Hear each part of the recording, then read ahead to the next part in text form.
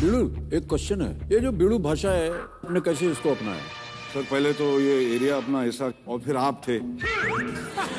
You वो wrong ना हम लोग तो बाद में आए। तो डायलॉग भी था सर का। तो ऐसे तो आदमी लाइफ में दो टाइम भागता है। ओलंपिक का रेस हो या पुलिस का केस हो तुम किस लिए भाग रहे हैं भाई? एक शानदार शुक्रवार। 24 सितंबर रात 9 बजे सोनी पर।